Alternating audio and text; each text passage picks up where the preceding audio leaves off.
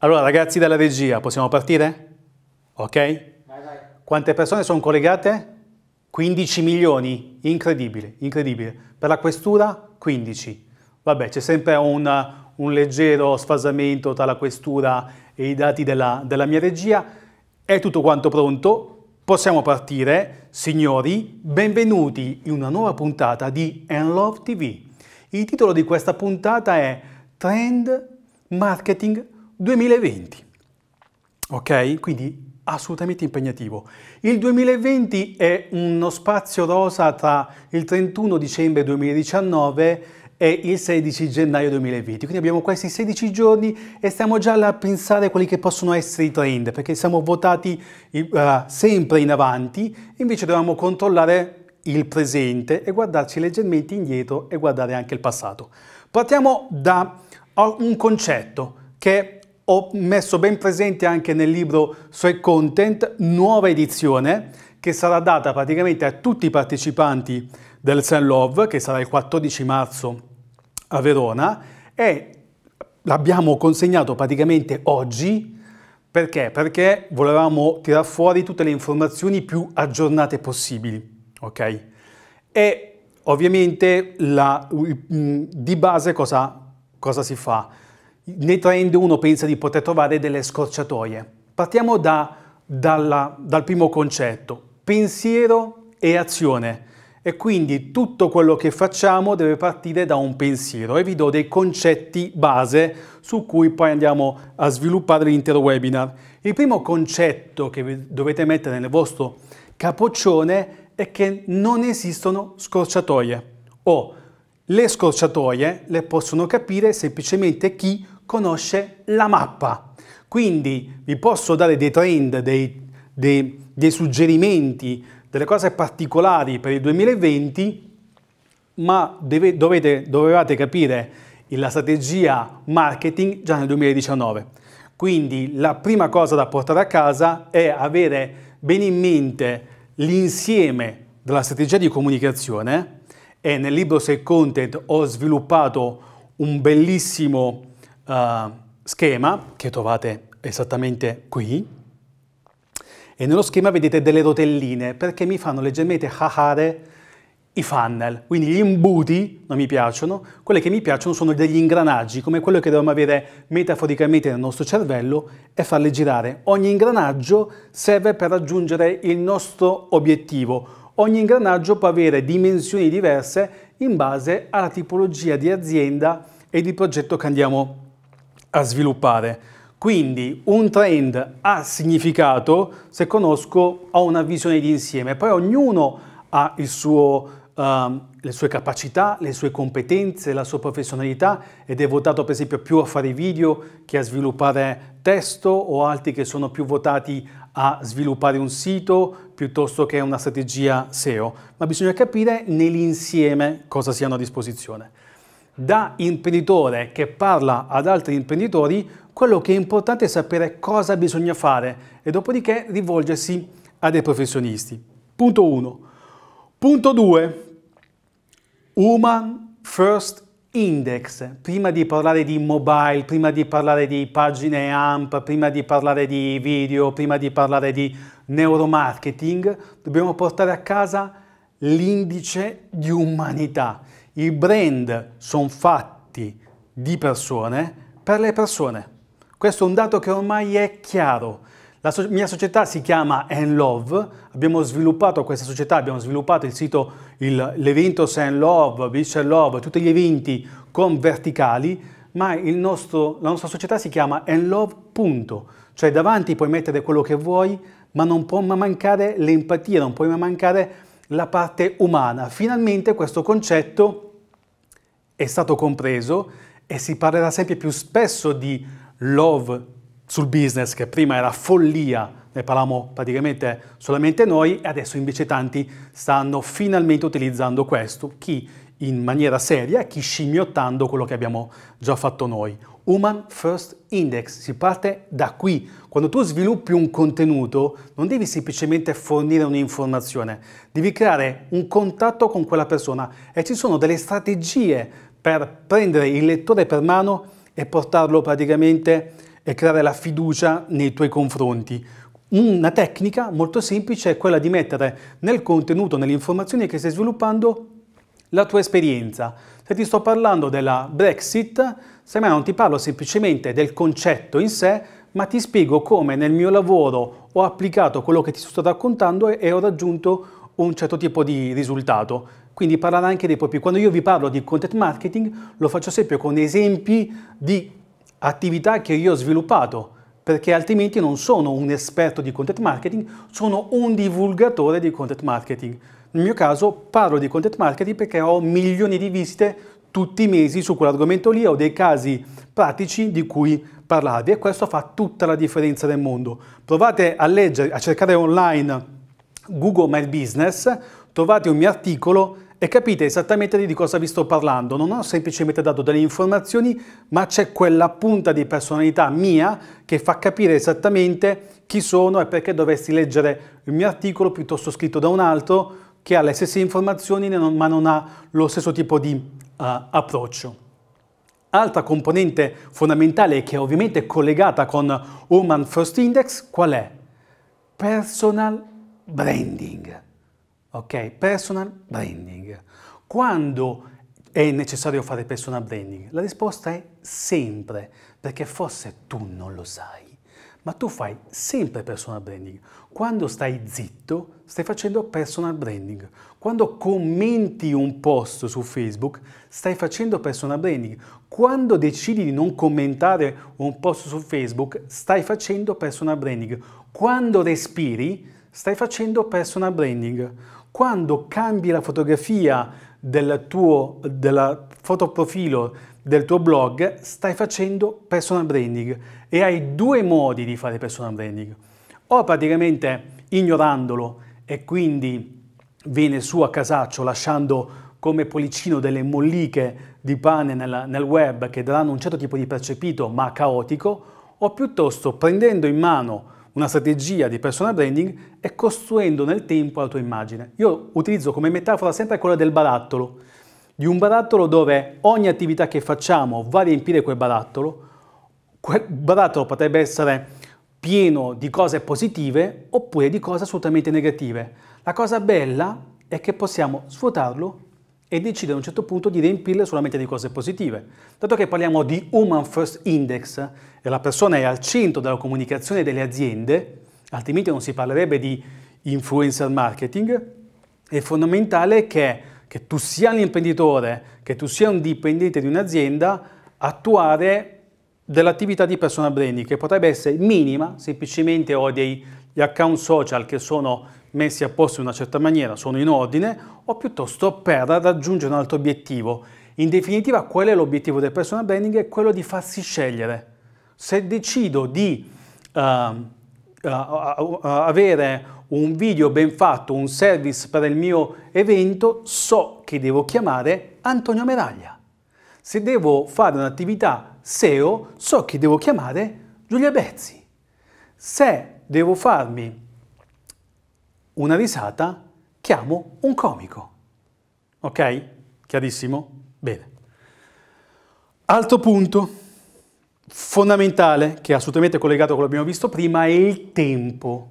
Il tempo è un concetto e un pensiero che dobbiamo portare a casa, soprattutto quando sviluppiamo contenuti e comunichiamo. Non dobbiamo avere la frenesia di fare, come se dovessi fare la pipì ti devo dire una cosa molto veloce, ok?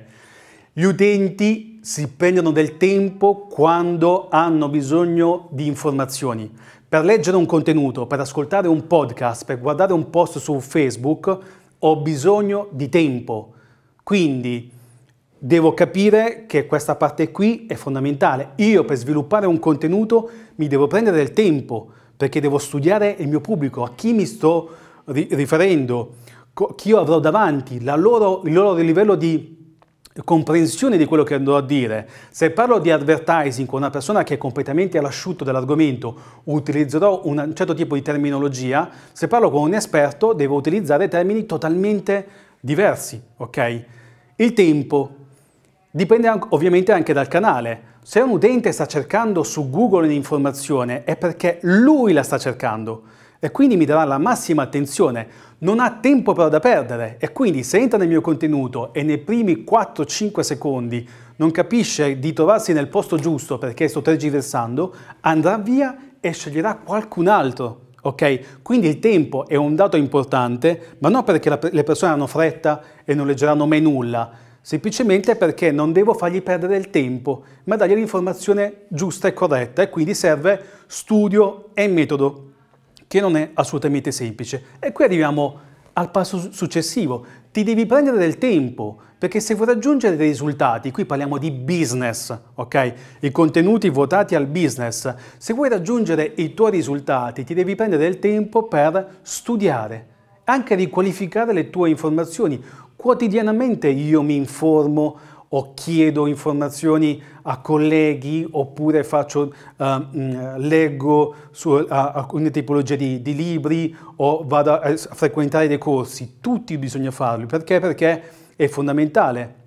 Ci sono argomenti totalmente nuovi che oggi vedremo che implicano a qualsiasi livello una riqualificazione continua. E qui eh, mi piace ripetere un messaggio che eh, ci ha fornito eh, Piero Angela quando l'abbiamo intervistato nel 2018 per il Sen Love e Piero Angela ci ha detto dovete essere positivi per quello che avete già fatto, ma non dovete mai accontentarvi, quindi dovete cercare l'eccellenza, che ovviamente è difficile, e questo porta a una riqualificazione continua del pensiero, perché si parte da lì, e poi dall'azione. E quindi la prima riqualificazione la potete fare tranquillamente il 14 di marzo al St. Love a Verona.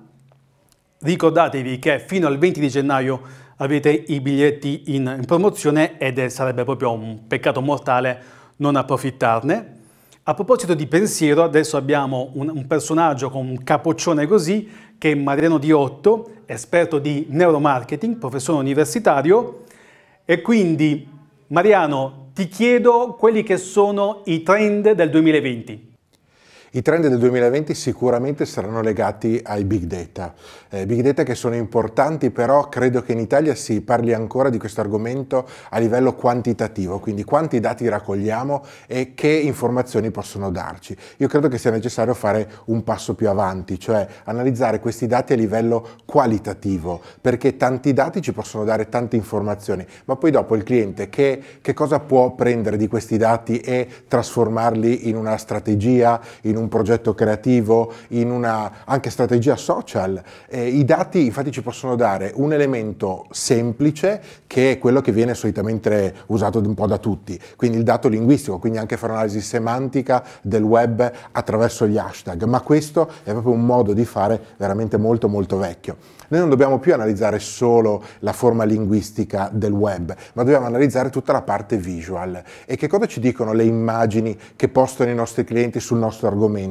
Eh, che caratteristiche hanno queste immagini di forme, di colori? Dove è ambientato il mio prodotto? Dove viene utilizzato? Quindi credo che sia necessario fare proprio un, uno switch, cioè di passare da un dato quantitativo a un dato qualitativo. E che cosa può aiutarci in questa cosa qui? Credo che il neuromarketing e il neurobranding possono aiutarci perché ci danno gli strumenti, quindi gli archetipi, attraverso i quali poter raggiungere il nostro cliente. Nel neuromarketing ci sono due grandi aree. La prima è il neuromarketing, quello predittivo, cioè quello che non utilizza le macchine, ma cerca di dare dei consigli al cliente su come costruire la propria comunicazione in maniera efficace, partendo proprio dagli archetipi. E poi c'è una valutazione che può essere fatta attraverso delle macchine che cercano di verificare se quello che si era progettato può funzionare. Quindi questi due elementi, big data con tutte le strategie che ci sono nel neuromarketing, abbinate assieme insieme possono dare sicuramente delle informazioni utili alle aziende per creare il proprio advertising, propria, il proprio posizionamento in rete, nei social e anche la costruzione di un sito stesso. Quindi credo che questo sia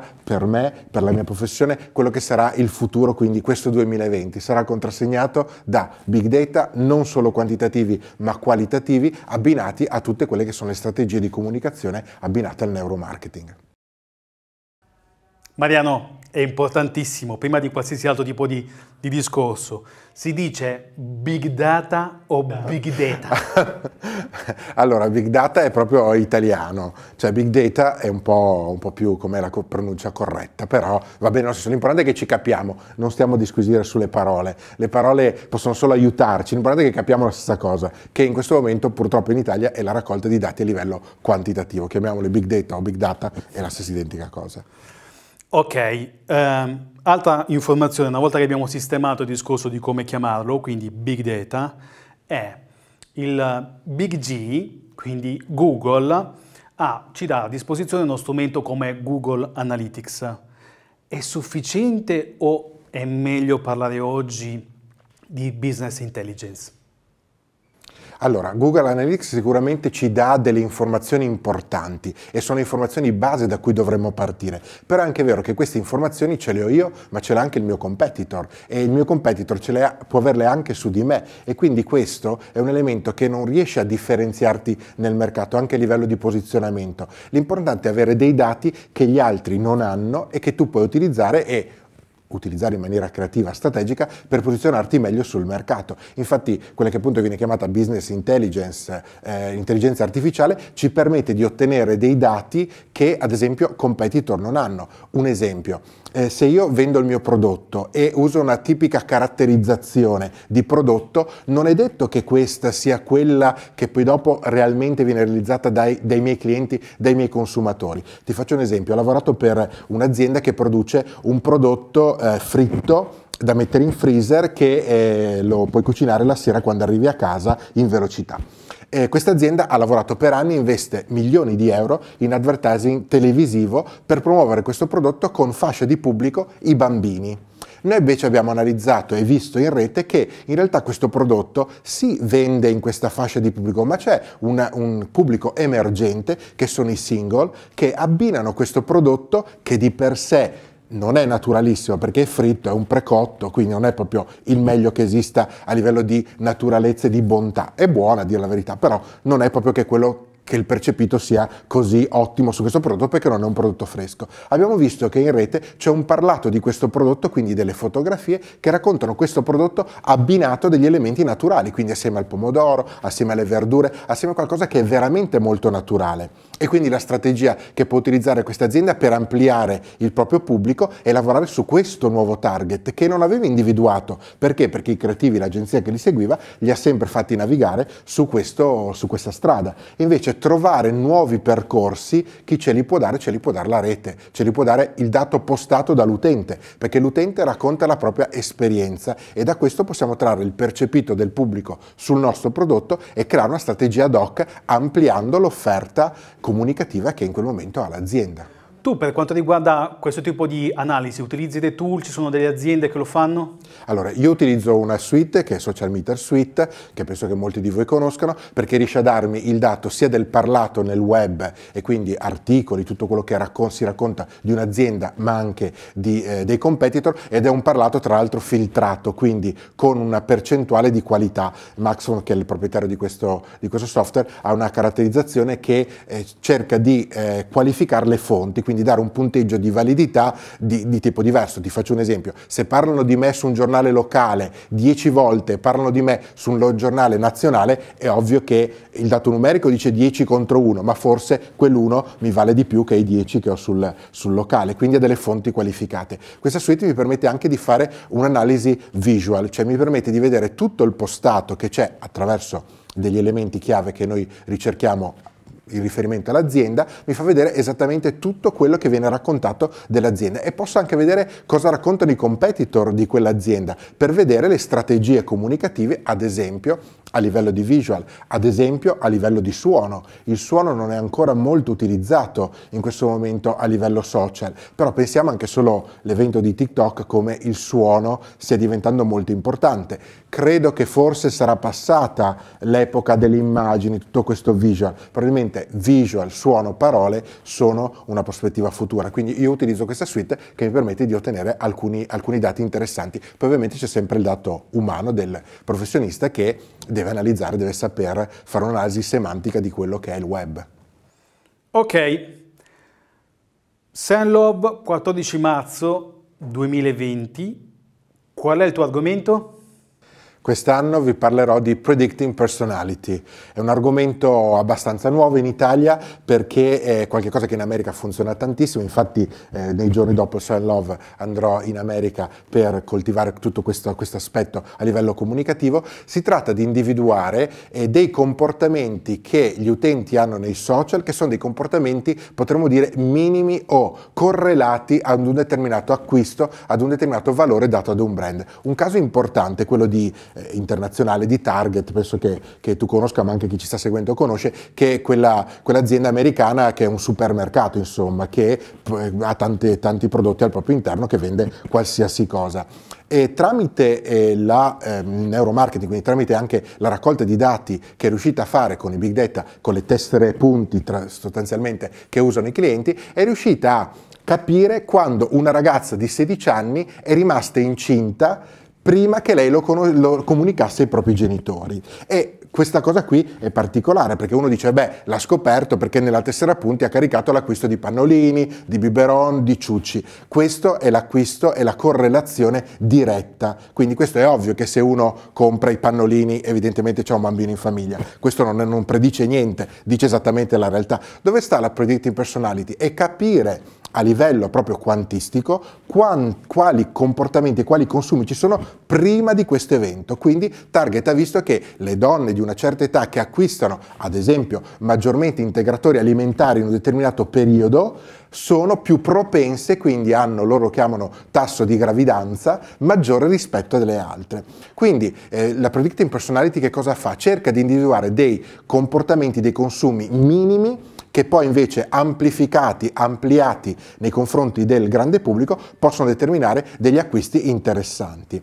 Uno degli elementi che ad esempio non viene mai raccontato dalla GDO anche in Italia è che le tessere punti non sono tessere punti, in realtà ci permettono e permettono alla GDO di avere grandi informazioni, ad esempio sa esattamente ogni settimana quanto noi compriamo, che cosa spendiamo, che prodotti acquistiamo. Non a caso eh, le casalinghe trovano sempre in offerta all'ingresso del supermercato un prodotto che esattamente a loro serve, perché loro non si ricordano che l'anno prima nella tessera punti gli era stato caricato che quel prodotto l'avevano acquistato e quindi gli era interessato in quel periodo. Quindi si tratta di determinare e capire quali sono questi tipi di consumi per poi massificarli, quindi renderli più ampi e trovare una strategia di comunicazione che possa portare all'acquisto di prodotti che sono differenziati rispetto a quelli che si immaginavano prima.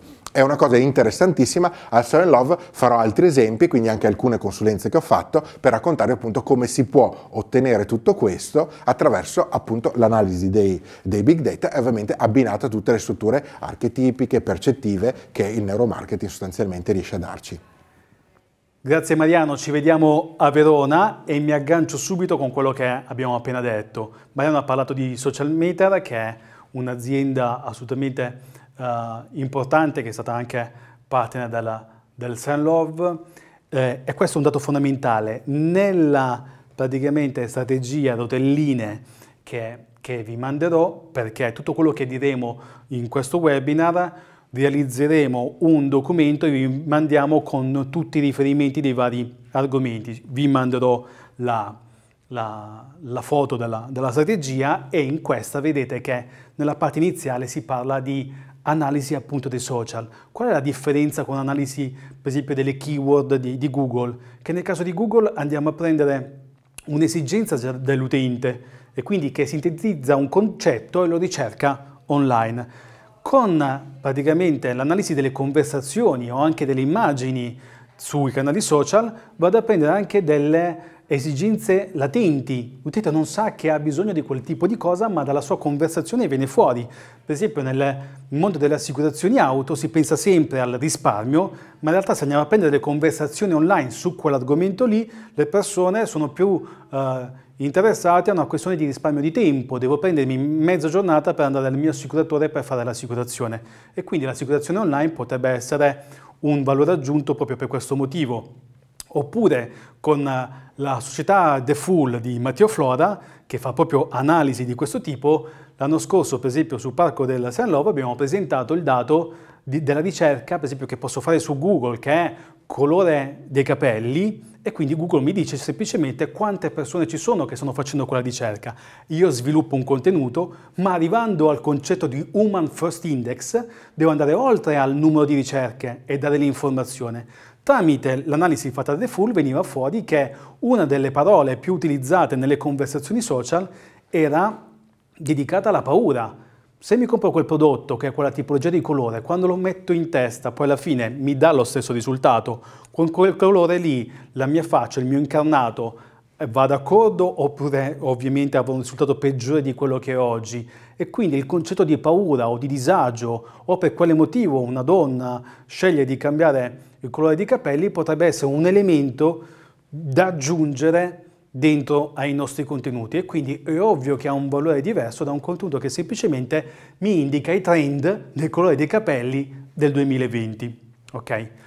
Poi ci sono delle piattaforme, per esempio Amplitude potrebbe essere, per quanto riguarda il concetto di andare oltre Google Analytics, è una piattaforma di analisi comportamentale che può esserti utile per andare un po' fuori dalla, dal dato, quindi un'analisi un po' più approfondita. Se prendiamo un tool gratuito, oggi oltre a Google Analytics puoi utilizzare Google Data Studio. Se non lo hai utilizzato conviene darci un occhio perché ovviamente ha il concetto di business intelligence e quindi è un concetto di andare oltre l'analisi classica che facciamo dei dati per raggiungere ovviamente obiettivi maggiori. E se parliamo di obiettivi maggiori non posso che chiamare in causa Giulia Bezzi, grandissima esperta SEO, nonché socia di Enlove, che vedremo ovviamente sul palco con me il 14 di marzo a Verona, e adesso ci parlerà dei trend 2020 per quanto riguarda la SEO. Salvatore, allora, senti, ti dico una cosa che ti sembrerà banale, però i trend del 2020 sono i trend del 2019, ma fateli. Cioè l'idea è proprio quella di riuscire, ovviamente, con degli esperti, a fare in modo che il vostro sito sia finalmente mobile e mobile non significa quando mi sposto all'interno del sito non riesco a muovermi con il dito per cui vado malissimo, deve essere responsive, significa che tutti gli smartphone, tutti i tablet devono fare in modo di avere un sito che sia navigabile e questo lo possiamo fare tranquillamente ispezionando con gli elementi del sito. È facile facile, prendete, andate sopra il vostro sito, tasto destro, vi arriva fuori ispezione elemento, si può vedere come funziona da smartphone, come funziona da desktop, come funziona responsive e a quel punto saprete se effettivamente il vostro sito lo è. Se non lo è, il sito bisogna che sia nuovo, bisogna rifarlo perché è uno dei fattori importantissimi e Google sta continuando a dircelo da anni e noi non ce lo filiamo. Se è mobile deve essere anche veloce. È un'altra cosa di cui Google parla tanto, tanto, tanto, tanto, tanto, tanto, al punto che dobbiamo stare almeno sotto i 3 secondi. 3 secondi come si fa a vedere? Attraverso PageSpeed. PageSpeed è uno strumento che ci dà Google a disposizione molto semplice, basta inserire la URL del proprio sito per la home, per le pagine interne e quant'altro e lui ci dirà guarda che sei scarso e quando ve lo dice, ve lo dice prima da mobile, perché siamo in mobile first da qualche anno per cui quello che dovete fare è quantomeno verificare che il vostro server sia in grado di sopportare il carico degli utenti che vengono a visitare il vostro sito, per esempio, cambiare anche server farm se serve. Il codice, codice pulito, codice preciso, non ci deve essere troppo JavaScript, cioè tanti movimenti, perché i movimenti appesantiscono il sito. Cache è quella cosa che accade quando si tiene memoria del proprio sito, per cui io navigo un sito e nel frattempo non c'è bisogno di eh, ricaricare nuovamente le risorse. Il mio sito dovrebbe essere in grado di mantenere quelle risorse in modo che un utente possa vederle immagini o video o quant'è, tutte compresse. Potete vederlo da PageSpeed perché PageSpeed vi dice per ogni cosa del vostro sito che cosa c'è che non va, che cosa c'è che, non, che, cosa c'è che va. Tra cui le immagini. Le immagini generalmente vengono caricate troppo pesanti e anche quello rallenta. Altra cosa che dovete fare se è mobile, a questo punto dovrete rispondere a tutte le esigenze dell'utente che invece di digitare una ricerca chiede al proprio dispositivo qualche informazione. Voice search, ormai ci siamo, non ci siamo ancora così tanto, ma ci siamo, per cui piccoli accorgimenti. Esistono dei microdata che servono apposta per dire a Google quali pezzi, diciamo, del nostro sito possono essere eh, fonte di risposta alla domanda effettuata attraverso il comando vocale. Altra cosa che potete fare se non fate questa attività, sviluppate dei contenuti che rispondano anche alla richiesta che facciamo generalmente per quanto riguarda i future snippet. I future snippet sono quelle eh, parti di testo che vedete proprio in alto, in alto, in alto nella pagina di ricerca, che in genere sono fatti con degli elenchi.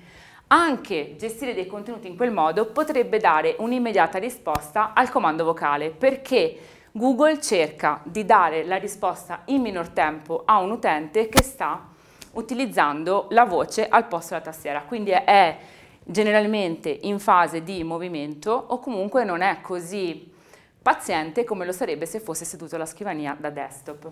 Altra cosa che dovete fare, linguaggio naturale.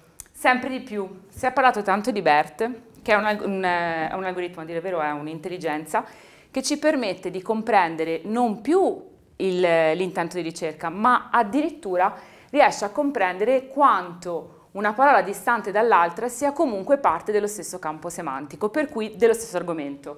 Vuol dire che possiamo finalmente essere diciamo, il più naturale possibile, ovvero non c'è necessità di avere vicine le parole per forza per far capire a Google che cosa c'è all'interno del testo. L'utente lo capirebbe comunque perché parla italiano come noi, non ci sarebbero problemi. Questo non significa che abbiamo smesso di fare ricerca delle parole chiave o ricerca di quelle che sono realmente le richieste dell'utente, perché quello rimane ancora.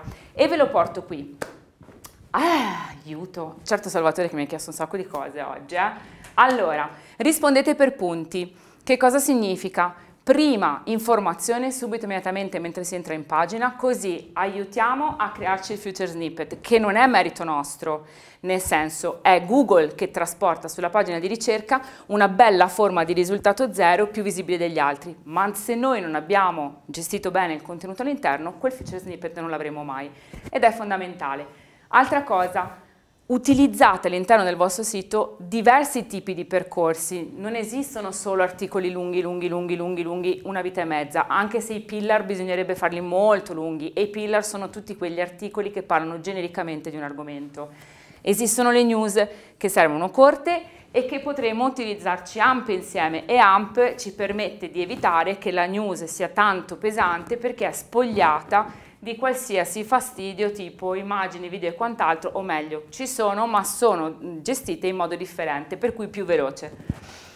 Altra cosa, cluster. I cluster sono gli argomenti specifici. Siccome siamo stanchi di avere dei contenuti che sono tutti uguali, fate in modo che i vostri contenuti specifici siano scritti da persone che effettivamente ne sanno di quell'argomento.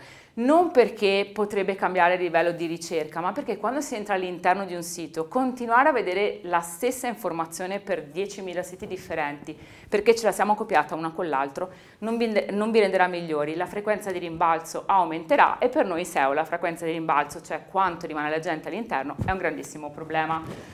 Altra cosa, scade prodotto.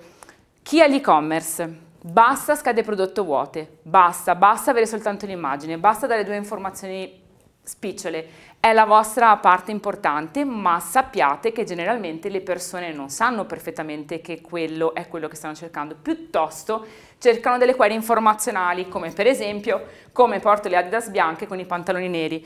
Nessuno toglie che voi non possiate metterlo all'interno della vostra scheda prodotto. Mettendolo all'interno della vostra scheda prodotto è più probabile che le persone possano capitare perché stanno cercando un'informazione generale e scegliere il prodotto. Se invece voi inserite soltanto le solite descrizioni del colore, della taglia e eventualmente del materiale con cui è fatto il prodotto, vi perdete un sacco di possibilità.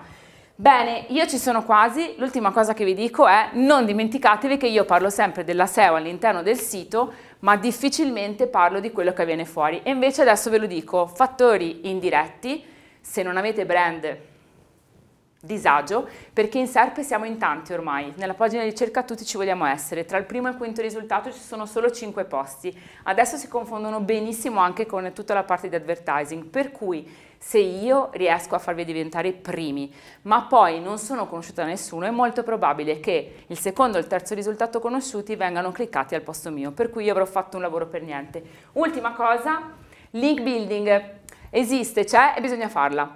Sono le nostre referenze, non smettete di provare a lavorare anche in questo senso, non pensate soltanto all'orticello del vostro sito, ma fate in modo che i vostri articoli siano presenti in altri siti di valore del vostro argomento, magari verticali, che possano portare del traffico intenzionale all'interno del vostro sito.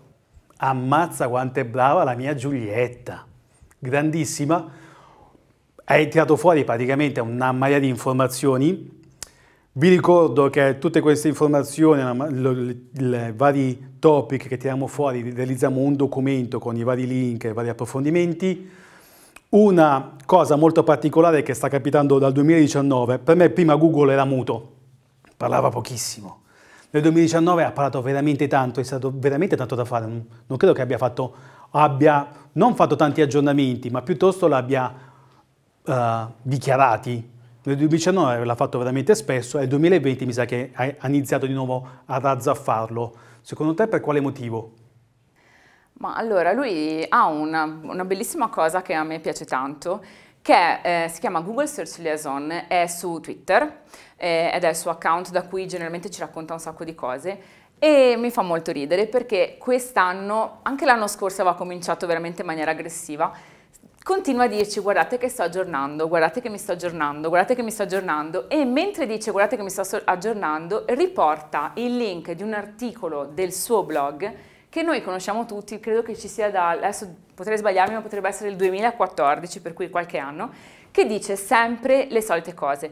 A dire il vero Google non ha cambiato il suo modo di pensare il contenuto o il sito, lui continua a dire, signori, io mi devo aggiornare, devo continuare a creare delle nuove attività all'interno di Google perché devo essere il miglior motore di ricerca al mondo. Voi però datemeli questi contenuti di valore, ma contenuti di valore per lui significa rispondete alla domanda dell'utente nel più breve tempo possibile perché a me serve quello, per esempio. E continua a dire, per cortesia, siete certi che i vostri contenuti siano eh, diversi dagli altri perché sono di qualità per cui raccontano un sacco di cose che servono davvero perché anche lui comincia a pensare molto probabilmente che il motore di ricerca sia ormai pieno, inzeccato di cose che non servono a nessuno. Le gioca sempre su questi due fattori, oltre a raccontarci costantemente che se, continuiamo, se continuiamo, ad avere dei siti che sono lenti come le lumache, non andiamo da nessuna parte. Però realmente lui sta comunicando il fatto che è molto sul pezzo ed è, come si dice, mm, abbastanza irrequieto, ma sotto sotto quello che vedo io è che non sta chiedendo di modificare il nostro modo di comunicare le informazioni, sta insistendo perché noi non lo facciamo, secondo me. Ottimo. E altra questione, tu hai parlato, perché già immagino chi sta seguendo il webinar dice ma mi stai parlando di mobile first, mi stai parlando di personalizzare le schede, addirittura le schede prodotto, avere un sito straottimizzato dal punto di vista SEO, avere un sito a razzo. C'è un tool che può aiutare in tutto questo tipo di attività? Ma allora, io qua sono di parte, essendo la brand ambassador, io non utilizzo un, turno, ma, un tool, ma utilizzo un, um, una SaaS, eh, si chiama Clicks ed è, secondo me è veramente il futuro, o meglio, Credo che noi SEO dobbiamo abituarci al fatto che dovremo utilizzare molto di più quello che è il grano salis rispetto alle manine e alle classiche forme tecniche che finora abbiamo utilizzato.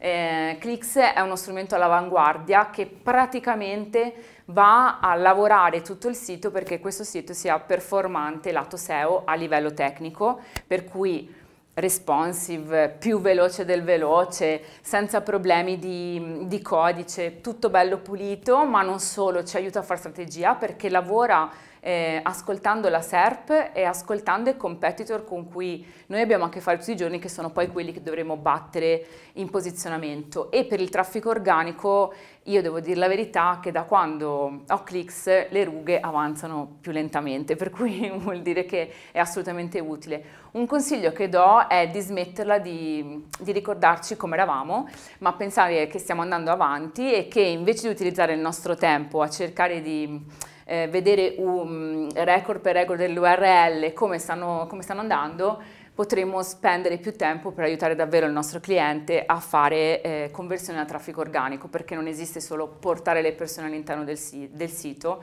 ma dobbiamo farcele restare e dobbiamo fare in modo che spendano tutti i soldi da noi. Giulia, facciamo un esempio pratico. Ci dici un caso studio in cui hai applicato Clicks e hai avuto dei risultati?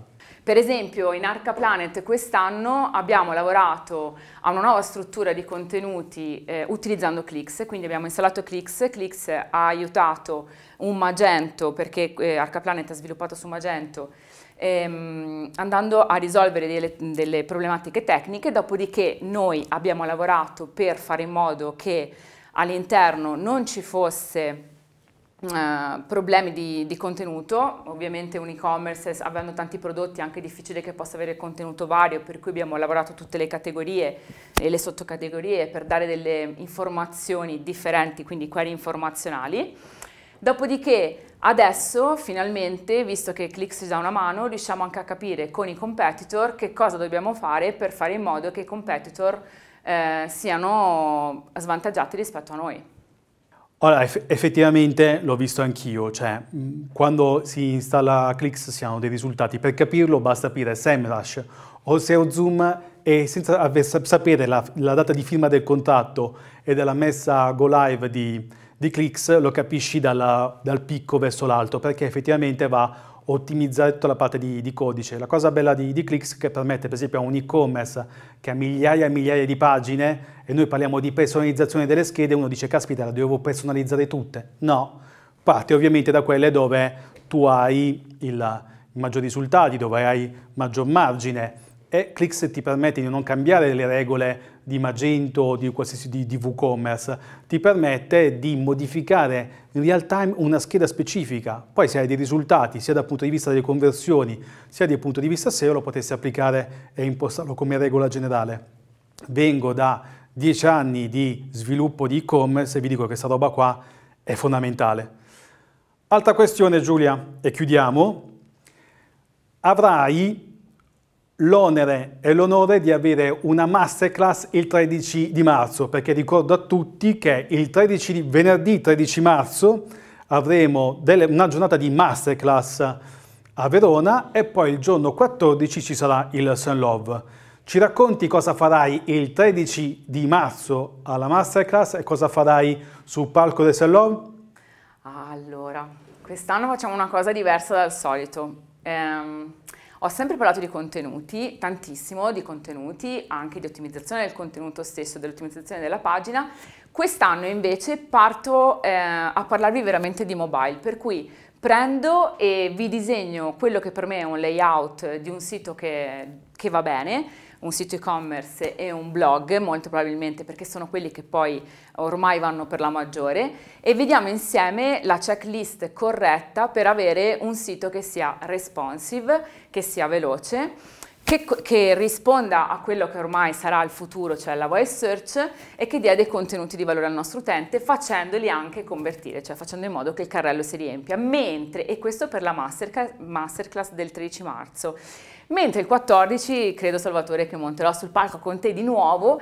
E um, ormai mi pare che il nostro speech sia piacevole per cui um, faremo un sacco di cosine ma parleremo soprattutto almeno per quanto riguarda la mia parte, di come si deve monetizzare, perché il traffico organico è un traffico intenzionale, significa che la gente è proprio pronta a muoversi per avere delle informazioni e comprare delle cose, per cui non c'è pubblicità che tenga e quindi io voglio parlare di business e voglio farvi vedere che so farvi fare soldi. Sarà uno spettacolo. Giulia, ci fai un saluto dei tuoi? Ci vediamo al Sal Love e vi aspetto tutti, non mancate. Top. Ciao Giulia. Ciao ciao. Da Giulia a Claudia. Di cosa parliamo adesso? Parliamo di smarmellamento perché dopo aver sviluppato i nostri contenuti possiamo aspettare così che ci arrivi il traffico grazie all'attività che fa Giulia SEO, ma dall'altra parte invece dobbiamo fare, se il nostro contenuto ci piace così tanto, dobbiamo provarne tutti i sistemi per poterlo smarmellare e uno di questi è ovviamente l'advertising. E quindi adesso vediamo sia per quanto riguarda la parte di l'advertising può essere utile ovviamente sia per comunicare il nostro messaggio e sia monetizzata se abbiamo un blog che fa tanto traffico con i nostri banner pubblicitari. Quindi chiamo all'appello Claudia Piantanida, publisher manager di Adcaora, che si occupa ovviamente di questo, quindi hanno un punto di osservazione fantastico per quanto riguarda i formati pubblicitari e ti chiedo subito, Claudia, quali sono i formati che hanno funzionato di più nel 2019 e quali che sono i trend per il 2020? Allora, i, i, formati che hanno funzionato meglio nel 2019 sono pressoché i formati video, eh, come avete potuto constatare da qualsiasi eh, social network piuttosto che eh, grande eh, diciamo, editore. Eh, I formati video mh, lato eh, editore possono essere eh, sicuramente eh, interessanti ehm, dal punto di vista di contenuto e quindi di produzione, pertanto io che ho un sito internet ho intenzione di guadagnare con un formato video e ho la possibilità di costruire, di, quindi di sviluppare dei miei contenuti video, ehm, posso scegliere quindi un partner tecnologico dove ostare questi, questi contenuti contenuti e di conseguenza eh, un partner per eh, monetizzare questi contenuti. Se invece non ho la possibilità, le disponibilità economiche di eh, creare i miei contenuti video, eh, posso sicuramente appoggiarmi a dei partner eh, come ehm, delle concessionarie piuttosto che ehm, altri eh, diciamo partner tecnologici che hanno all'interno una, porzione, una, una porzione commerciale che danno a disposizione eh, un player e il contenuto. Per esempio eh, ci sono dei, dei partner che eh, hanno a disposizione eh, dei eh, contenuti video eh, molto interessanti a livello, e riconosciuti a livello nazionale in modalità assolutamente gratuita. Eh, la cosa che viene chiesta all'editore è di inserire il formato in pagina eh, ovviamente questi contenuti sono in linea con ciò che c'è scritto all'interno degli articoli, quindi con il target di riferimento e eh, vengono monetizzati direttamente dal, dal, partner, quindi dalla concessionaria piuttosto che da, eh, da terzi. Insomma. come trend di mercato diciamo, del 2020, eh, invece come novità del, del 2020 sicuramente molto interessante il proximity marketing, ovvero eh, sono tutte quelle campagne eh, che attraverso le push notification eh, ci, ehm, ci eh, portano all'interno degli store.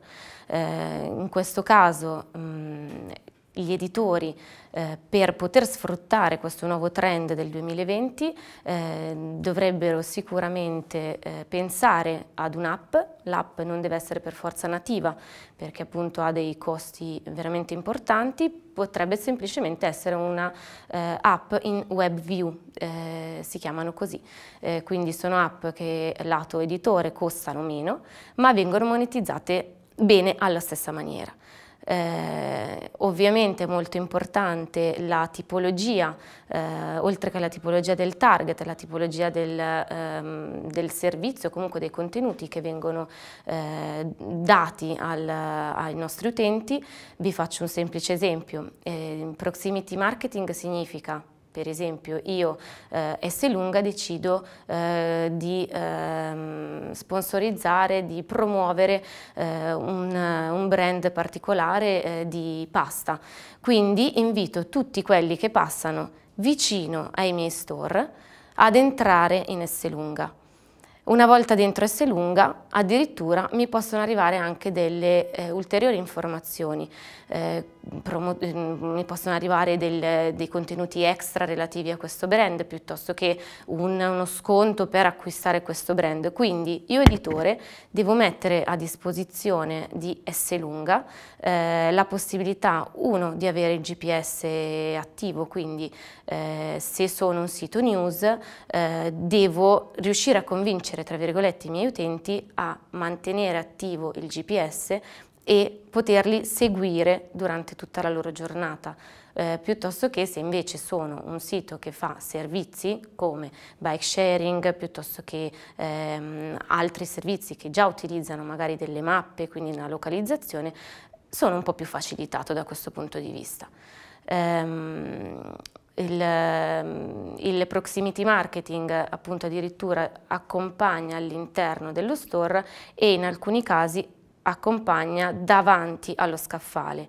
In questo caso ovviamente lo store deve essere biconizzato, significa che ci sono proprio dei meccanismi, eh, degli hardware posizionati all'interno dello store e lato sempre editore devo dire al, al mio utente di tenere anche le notifiche push attive, altrimenti non è possibile, eh, non è possibile fornire questo tipo di informazione. Ok, abbiamo parlato di quelle che possono essere le attività da fare per ovviamente farsi pubblicità, quali sono i formati che funzionano di più, ovviamente è venuto fuori anche troppo tardi, perché se parliamo di trend di un anno, è ovvio che al primo posto c'è il video e quindi la prima cosa che devo dire appena è partito questo webinar è il 2020 è l'anno dei video, come l'è stato il 2019, il 2018 e il 2017, sarà contento l'amico Antonio Medaglia. Um, c'è, dall'altra parte possiamo monetizzare il traffico del nostro sito con ovviamente dei banner pubblicitari quali sono le attività che un editore deve assolutamente fare per avere successo e guadagnare dalla pubblicità? Allora, dal punto di vista eh, diciamo più mh, mm, commerciale barra eh, UX, quindi user experience, sicuramente il grande consiglio che posso darvi è non rendete i vostri siti degli alberi di Natale, quindi eh, poco è meglio, perciò pochi formati, eh, strutturati bene, non sovrapposti. Questo perché? Perché ci sono delle mm, nuove regole dettate dallo IAB Italia, eh, potete cercare Better Ads eh, su Google e vi verranno fuori eh, tantissime informazioni a riguardo, ehm, che aiutano, hanno aiutato insomma, il mercato del digitale a, tra virgolette, pulirsi, ripulirsi eh, da eh, queste continue sovrapposizioni. Questo perché? Perché i clienti eh, chiedono sempre più eh, degli obiettivi sfidanti e questi obiettivi non possono essere raggiunti se eh, ci sono delle sovrapposizioni. Ehm, dal punto di vista quindi legale, il mio consiglio eh, le, tecnico, legale, commerciale, quindi andiamo a prendere un po' tutti e tre i campi, è sicuramente di controllare appunto Better che cosa dice, quali sono i formati che eh, non possono più essere, ehm, essere, utilizzati, soprattutto su desktop. Per, vi faccio un esempio, i pop-up o pop-under sono assolutamente bannati. Eh, e eh, altra cosa fondamentale è sicuramente la cookie mm, policy, cookie law e privacy policy. Eh, ci sono tanti partner in rete che eh, millantano, tra virgolette, di eh, poter aiutare o comunque poter fornire eh, la giusta eh, cookie law agli editori, attenzione perché in realtà quelle corrette al 100% sono molto poche. Eh, vi consiglio di andare a controllare e, e rimanere aggiornati sulla legislazione inglese, non quella italiana, perché è sempre comunque un passo avanti rispetto a noi. Ad ogni modo, eh, il consiglio che vi posso dare per controllare se quella che avete online è corretta è eh, nel momento in cui eh, un editore nuovo accede al vostro sito deve assolutamente apparire il banner in fondo al sito o in cima che dice attenzione stiamo utilizzando, comunque mh, mm, prenderemo dei, dei cookie eh, perciò eh, leggiti bene le, informative eccetera eccetera e prima di eh, cliccare il tasto accetta ok non deve apparire alcun tipo di banner sotto. Se appaiono non sta funzionando correttamente. Eh, altra cosa importantissima, per guadagnare di più eh, dovete assolutamente controllare il file ads.txt che sicuramente avrete messo in pagina. Senza quello non si guadagna più niente. Grazie Claudia. Ciao Salvatore. Informazioni potentissime, sicuramente qui ci saranno un sacco di, di richieste che verranno, verranno fatte in merito. Ti ringrazio, ci vediamo al Send Love. E adesso è, dato che ho un po' mal di gola perché sto parlando da 14 ore, l'argomento che andremo a trattare è proprio la voce, ok? uno strumento anteghessimo che in realtà è attualissimo. Uno dei trend più forti del 2020, ma negli anni uh, a venire, sarà sicuramente la voce. Ma non parlo solo di voice search, ma parlo proprio in generale della, della voce. E quindi non posso che non chiamare Luca Viscardi di Radio Number One, che ha, adesso lo sentirete, ha una voce pazzesca, che ci parlerà appunto dei trend per quanto riguarda la voce nel 2020. Ciao Salvatore, eh, beh, i trend del 2020 curiosamente eh, sono qualcosa di particolarmente antico perché uno dei trend che vedremo nel prossimo anno sarà quello eh, della voce la voce che torna prepotentemente nelle abitudini eh, degli utenti, nelle giornate degli utenti, nelle eh, forme più eh, disparate. Io ad esempio sto vivendo una sorta di seconda giovinezza della radio perché grazie all'ondata dei prodotti eh, smart speaker siamo tornati ad avere la radio dentro casa, la radio dentro casa in un oggetto eh, tecnologico, la radio dentro casa facile eh, da consultare, da attivare e da eh, fruire e quindi che torna prepotentemente anche nell'abitudine eh, quotidiana. Diciamo che è un po' forse l'unica onda di contrasto rispetto allo strapotere dei video che abbiamo visto eh, nel corso di questi anni. Però la voce diventa un trend, secondo me, anche al di là eh, della radio, perché è vero, noi oggi abbiamo il fenomeno del podcast, che è un altro eh, tema importante, quindi la voce ancora che entra eh, nella, eh, nelle case, nelle auto, insomma negli uffici degli utenti eh, on demand ma la voce diventa anche lo strumento attraverso cui le aziende dovranno dare informazioni che eh, li riguardano proprio attraverso eh, gli smart speaker. Ho la sensazione che eh, in alcuni casi non si sia ancora colta davvero la forza di questo strumento e poi soprattutto la prepotenza eh, di uno strumento come gli smart speaker. I numeri eh, ci dicono insomma, che l'anno scorso in Italia eh, Alexa ha risposto a 600 milioni di domande e eh, quindi bisogna eh, porsi il problema di come rispondere anche quando le domande saranno magari eh, relative alle aziende, alle attività commerciali, alle eh, attività promozionali e quindi essenzialmente pensare ad una declinazione di tutto ciò che oggi noi abbiamo fatto nel mondo web attraverso le app, attraverso i siti internet, anche attraverso la risposta che la voce darà eh, con eh, sistemi come eh, gli smart speaker. Tra l'altro l'altra eh, percezione che in alcuni casi mi è capitato di avere è che eh, su questo versante a volte si perda un po' il tema della qualità, no? cioè che la conversione in voce di alcune informazioni eh, sia fatta senza pensare al tema che anche la voce, come la formattazione di una pagina web, come la presentazione grafica di un'applicazione, eh, abbia degli standard, degli stili, delle regole che eh, vanno rispettate anche in questa nuova generazione. Però insomma 2020 si presenta come un anno in cui si parlerà tantissimo e la voce tornerà a essere eh, un elemento preponderante, eh, parlando con la propria radio, con i propri eh, elettrodomestici e facendo le domande più impossibili al proprio smart speaker. Bisognerà essere pronti a rispondere. Human First Index, perché alla fine si ritorna sempre lì.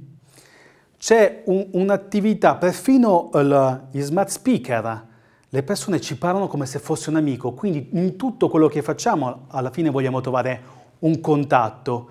Per me gli eventi sono la versione offline del blog. Anche l'evento va realizzato con delle categorie di argomenti. Per ogni categoria utilizzo un relatore che sarebbe un blogger che va a sviluppare un contenuto specifico per un certo tipo di, di target. Oltre a fornire dei buoni contenuti, l'ho sempre detto, in tempi non sospetti, dalla prima edizione del Sell Love, oltre ai contenuti bisogna offrire una buona esperienza. I, um, uh, Maya Angelou diceva, le persone possono dimenticare ciò che gli diciamo, le persone dimenticheranno ciò che facciamo, le persone non dimenticheranno mai come le facciamo sentire. Quindi l'esperienza è fondamentale e non è un caso che gli eventi stanno praticamente esplodendo. E quindi è una cosa che assolutamente funziona. Più siamo collegati online, dice Kotler, e più abbiamo bisogno di momenti offline. Quindi anche un business completamente online deve trovare dei momenti di contatto offline e l'evento ovviamente garantisce proprio questo, a prescindere che sia un evento informativo come SN Love o un evento aziendale per vendere i propri filtri dell'acqua. È importante però offrire, oltre al proprio contenuto che deve essere di spessore elevatissimo, e quest'anno a Senlova avremo Alessandro Baricco, Andrea Fontana, Ricciardo Romagnoli, Giulia Bezzi, eh, Fiona Ciacalli, Matteo Pogliani e tantissimi altri personaggi. Andate a guardarvi il programma, è un programma ricchissimo, ma oltre a questo ci deve essere anche la componente spettacolare. Quindi tornando da te, eh, Luca, ti chiedo quali sono i trend dedicati allo spettacolo. Beh, sul fronte, diciamo, eh, entertainment, spettacolo, c'è un fronte che continua a crescere, sta diventando sempre più importante, lo è già da molti anni, ma lo sarà ancora di più nel futuro, che è quello degli eventi. Eh, ovviamente gli eventi nelle loro forme più eh, disparate. Nel campo della musica, ad esempio, proprio la, la, la percentuale di fatturato oggi del, eh, dell'industria si sta spostando proprio sul lato eventi. Mm, qualche giorno fa mi raccontavano in un modo curioso, no? una volta si regalavano dischi a Natale, oggi si regalano i biglietti per il concerto eh, dell'anno successivo. Negli eventi arriverà ad esempio una nuova ondata tecnologica, questo è molto interessante, forse non a brevissimo periodo, è un po' presto pensare a questo trend per il 2020, però si sta già lavorando, questo è un progetto ad esempio che Qualcomm eh, che realizza processori per gli smartphone, per i tablet, ora per i computer e anche per i eh, visori di realtà eh, virtuale, sta oggi eh, realizzando insieme a Steve Aoki ad esempio è l'uso molto massiccio della eh, realtà estesa eh, negli spettacoli. Questo significa che nel corso di uno spettacolo lo smartphone diventerà eh, uno strumento fondamentale per fruire di alcuni contenuti. Non solo lo strumento con cui fare foto e video da eh, mandare agli amici in eh, tempo reale, ma anche un modo per entrare in eh, prima persona nello spettacolo che si sta eh, vivendo. Questo apre, aprirà senza dubbio anche delle eh, opportunità commerciali interessanti per chi insomma, vorrà utilizzare questo genere di strumenti. Quindi un tema, eh, quello ad esempio degli spettacoli in cui saremo sempre meno spettatori passivi, ma sempre più parte integrante eh, di ciò che stiamo vedendo. Perché lo condividiamo in primo luogo e perché proprio attraverso nostre azioni, con un rapporto in tempo reale con la struttura in cui saremo calati, avremo modo anche di condizionare eh, lo sviluppo e lo svolgimento dello spettacolo stesso. Grazie Luca, la tua voce è splendida. Quando avrò dei momenti in cui mi sento solo, un po' triste, ti chiamo con quella voce lì, praticamente come avere una sciarpa addosso, poi mi dai anche delle dritte delle lezioni per avere quel tipo di voce impostatissima. E ci vediamo ovviamente anche tu al Sell Love, giusto? Dovrò esserci per forza, no? Credo che sarò assolutamente presente, anzi grazie per eh, l'invito, non mancherò. Human First Index, ritorniamo sempre lì. Nel nostro percorso decisionale di acquisto di un prodotto c'è la fase ovviamente di consapevolezza, ci sono delle attività, spot pubblicitari che mi vengono dove il, brand, il, il cliente viene a contatto con il mio brand, poi c'è la fase di appeal e quindi di ok, quel messaggio che ho ascoltato mi interessa. La terza A di Kotler è la, la, richiesta di informazioni, in quel caso l'azienda quindi entra in gioco il content marketing, l'azienda deve rispondere con i propri contenuti, la quarta è A è l'azione e quindi compiere l'azione, in questo caso di acquisto, la quinta A della, delle 5A di Kotler riguardano invece la, eh, le, i feedback che le persone lasciano online sul mio brand. Questa parte qui può essere anche una parte dedicata all'attività che fanno blogger, quindi quando sviluppo il mio contenuto, perché? Perché so che le persone andranno a cercare quell'argomento specifico, devo sapere che ne devo parlare io come azienda e in più devo cercare online blogger, eh, eh, youtuber o instagrammer vari che stanno parlando di quell'argomento lì specifico in maniera tale da venire in contatto e trovare il modo che parlino o del mio prodotto specifico o semplicemente del settore merceologico, ok? E quindi siamo sempre nella fase di trovare il modo di convincere l'utente che il mio prodotto è esattamente quello che sta cercando per portarlo, spingerlo poi all'acquisto, ok? Nel libro, per esempio, Sex Content, questo argomento qui è affrontato e fa parte ovviamente dell'intera strategia. A tal proposito, chiedo a Fiona chi sei e cosa fai. Allora, questa è la domanda più difficile che tu potessi farmi, caro Salvatore, ma io cercherò di essere breve e concisa. Ogni tanto online mi dicono che sono un influencer, io questo l'ho scoperto da poco perché non ero partita con l'intenzione di essere un influencer. Sono iniziata, sono iniziata ho iniziato con un blog, eh, poi ho aperto un canale YouTube, poi ho aperto un podcast, insomma la mia vocazione è quella di comunicare online qualcosa che conosco e che scopro eh, durante i giorni lavorativi e durante la mia vita, insomma.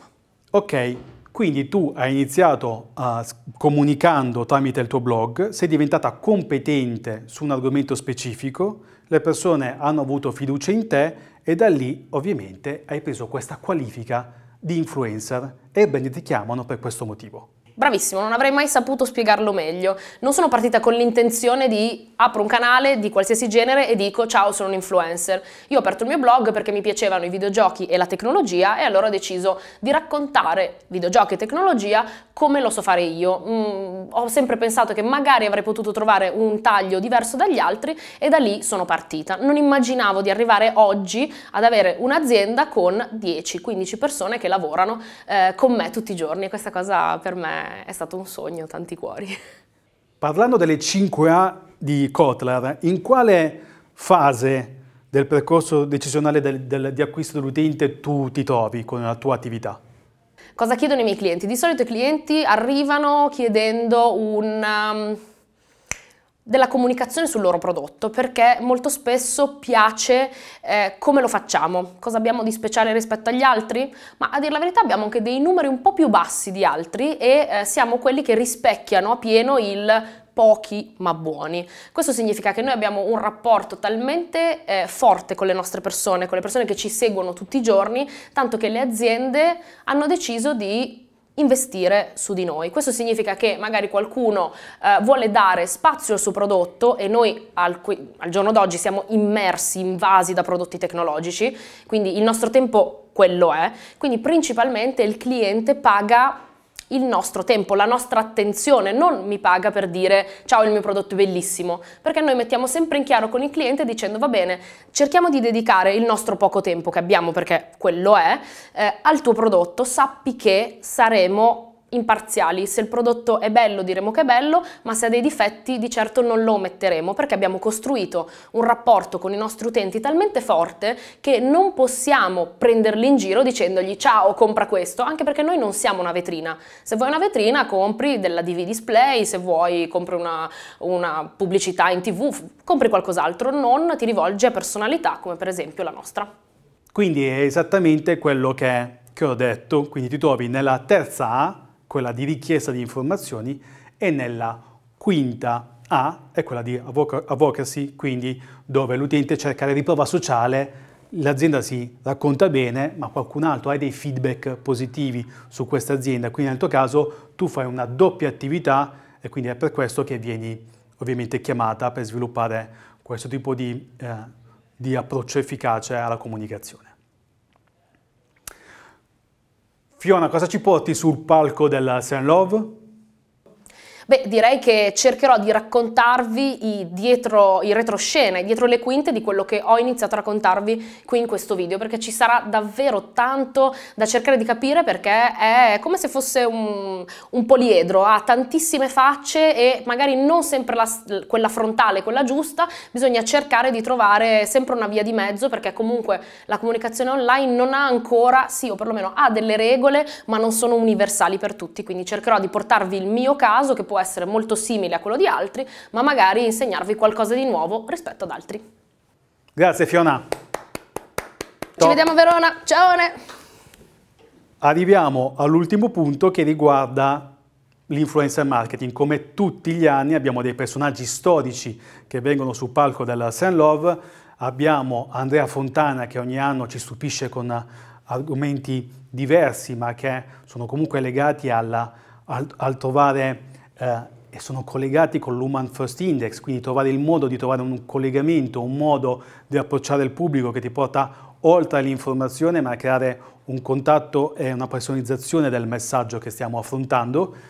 Abbiamo parlato con Fiona Ciacalli, assolutamente un influencer su un certo tipo di target di mercato e quindi se si parla di influencer marketing non si può parlare che con Matteo Pogliani che ha il suo all'Osservatorio Nazionale di Influencer Marketing e quindi ha un punto di vista assolutamente invidiabile e competente sulla, sulla materia. Matteo ti chiedo al volo quali sono i trend 2020 dedicati all'influencer marketing. Ciao Salvatore a tutti i ragazzi che stanno ascoltando il, il webinar. Allora, ci sono molte novità per il 2020 lato influencer marketing. L'influencer marketing infatti è uno strumento che ormai è abbastanza ormai consolidato, però è anche uno strumento estremamente mutevole rispetto a altri strumenti come il content marketing, il blogging, il social. Perché? Perché deve seguire i trend dei creator e i trend di cambi delle piattaforme. Di conseguenza ciò che vediamo magari nell'anno precedente può non essere più utilizzato nel nell'anno successivo e viceversa. Sicuramente uno dei trend maggiori eh, lato influencer marketing è l'arrivo di nuove piattaforme, una su tutte ovviamente TikTok. TikTok sta eh, diventando sicuramente un punto fermo per i creator, un po' perché naturalmente è scoppiato l'hype, c'è la moda, un po' sicuramente perché è una piattaforma che è nata con grande attenzione nel offrire eh, ai creator importanti strumenti già direttamente in app per creare contenuti molto particolari, quindi io riesco a fare video con un certo tipo di caratteristiche tendenzialmente abbastanza bellini visivamente e creativi già utilizzando solo l'app senza dover passare come facevano molti quando caricavano su Instagram da strumenti professionali di editing video. TikTok è discretamente una certezza, già, lo è già diventato, ovviamente come tutte le piattaforme non è un obbligo starci per forza a utilizzarlo, quindi prima di valutarla attentamente e di partire con una campagna su TikTok dobbiamo essere sicuri che il nostro target, il nostro pubblico sia su quella piattaforma. Tendenzialmente TikTok lavora bene in un range di, di, di utenti tra i 16 e i 25 anni, il core migliore ce l'ha forse diciamo 18-21. In Italia i numeri sono buoni, soprattutto su questo target qui, e si possono fare quindi delle, eh, delle, campagne interessanti, anche perché come ho detto dà grandi possibilità comunicative agli utenti. Perché comodo lato influencer marketing? Perché molte aziende stanno iniziando a valutare TikTok e come consiglio quando mi chiedono campagne quando mi chiedono di iniziare addirittura il percorso di un canale branded su TikTok, il mio consiglio è sempre partire prima con gli influencer. Perché? Perché è un testing, è un test importante per vedere se eh, addirittura facendo dei contenuti fatti da persone che sono già autorevoli lì, che sono molto forti a utilizzare lo strumento, possiamo capire qual è il ritorno dal punto di vista degli utenti sulle comunicazioni riguardo i nostri servizi, i nostri prodotti. Quindi se sono buone, perché no? Magari possiamo anche poi in, in uno step 2 aprire un canale di brand. Altrimenti magari forse è meglio rimanere esclusivamente su attività legate, legate ai, ai creator. Altro punto importante parlando appunto del trend TikTok, lato influencer marketing, è ricordiamoci che ogni canale ha le sue caratteristiche comunicative, TikTok ancora di più.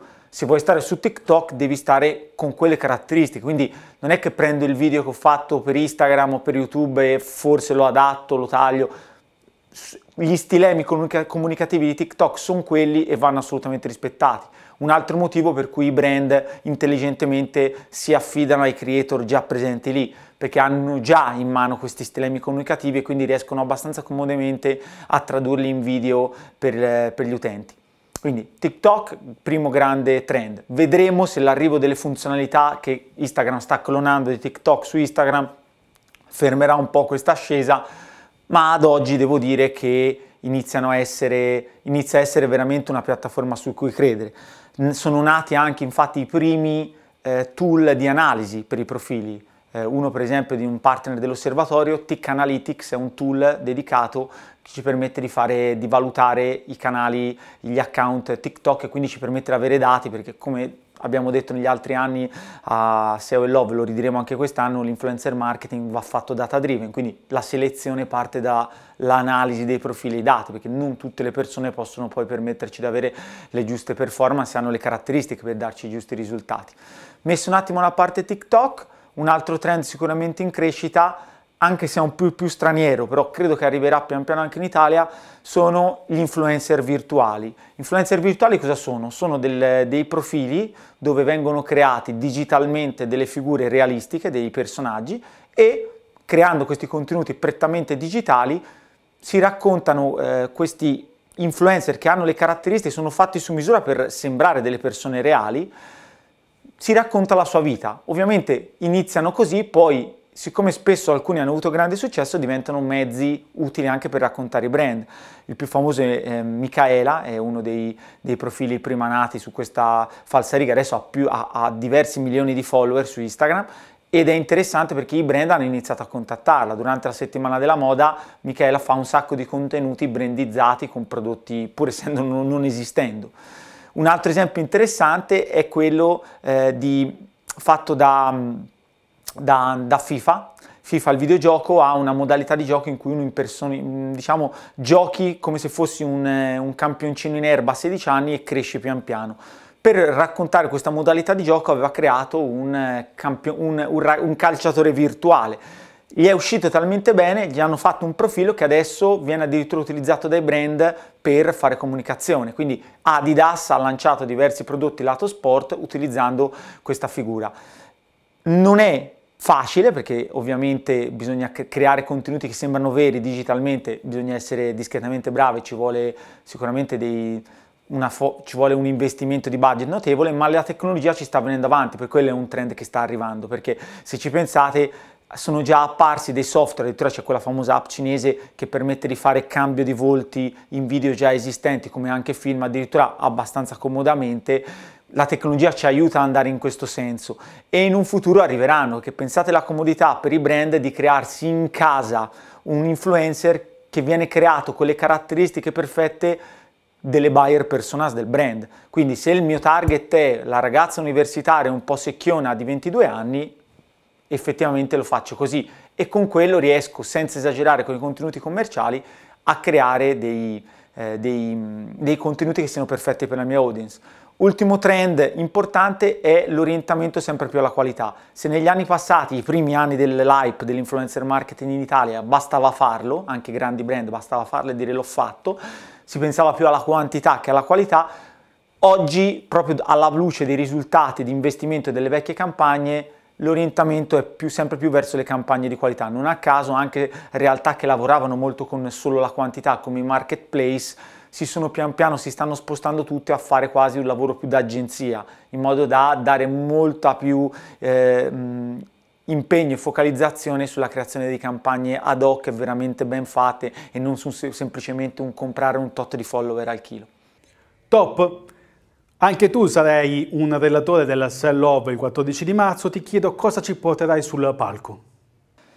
Vi stupirò quest'anno perché vi porto, di sicuro vi porterò un'anteprima esclusiva dei dati eh, del, report del, rep, del, report principale dell'ONIM, quello in cui intervistiamo i brand e i marketer sull'uso dell'influencer marketing, lato 2020. Quest'anno è molto interessante perché essendo la seconda edizione del report avremo sì i dati 2020, ma sarà molto interessante perché potremo vedere gli scostamenti rispetto al 2019, quindi capendo veramente come il fenomeno dell'influencer marketing in Italia, perché diciamo che abbiamo colmato questo gap, questa mancanza con, l'ONIM, con l'osservatorio, riusciremo veramente a capire dove sta andando e come sta modificandosi l'influencer marketing. I dati sono fondamentali, lo ripetiamo sempre, ma lo sono sul serio perché ci permettono veramente, grazie a questi report, noi possiamo veramente capire l'andamento e la situazione lato influencer e lato brand e questo ci aiuta in maniera enorme per, per, un, per migliorare e fare progetti sempre più performanti. Partiremo dai dati, quando a e Love, e grazie a questi dati contestualizzeremo alcuni consigli per fare nel 2020 campagne sempre più performanti. Lo dicevamo prima sul trend, la focalizzazione verso la qualità, noi ci siamo sempre eh, soffermati su questo punto negli ultimi anni, ma quest'anno che è ancora più rilevante, sarà importante dare dei consigli per farla veramente bene, per esempio i, i, giusti strumenti tecnologici per fare la selezione degli influencer, perché nel 2020 probabilmente è giunto il momento definitivamente di smettere di fare una selezione solo basata su seguo quello o mi consigliano quell'influencer, quel creator. Il come misurarli, che è un altro gap enorme che tutti misurano un po' al loro modo. Influencer marketing va, eh, la misurazione ha delle caratteristiche importanti che solo facendo in una certa maniera ci permette di comprendere davvero quanto è stato performante il nostro, il nostro, progetto e non si basa semplicemente sulla manciata di like pur tanti che abbiamo, che abbiamo ottenuto. E poi vi racconterò qualche case study per contestualizzare questi consigli che vi ho dato, perché fa, farvi vedere concretamente alcuni progetti fatti dai brand che hanno portato un certo tipo di risultati credo sia il modo migliore per rispondere ai dubbi, del, ai dubbi, delle persone e fargli vedere che la strada che stiamo consigliando eh, è già stata percorsa ed è già stata percorsa eh, con profitto. Poi ci sarà qualche altra sorpresa che non vi svelo, però questa sarà un po' la nostra base. Eh, SEO Love vuol, vuol dire soprattutto informazione, know-how e data, quindi partiamo dal report come una sorta di funnel, partiamo dal report, diamo i consigli basati sul report e facciamo vedere i case per darvi concretezza di quello di cui abbiamo discusso poi nello speech. Grazie Matteo. Ciao. Ci vediamo a Verona. Ok, siamo arrivati alla fine di questa maratona informativa.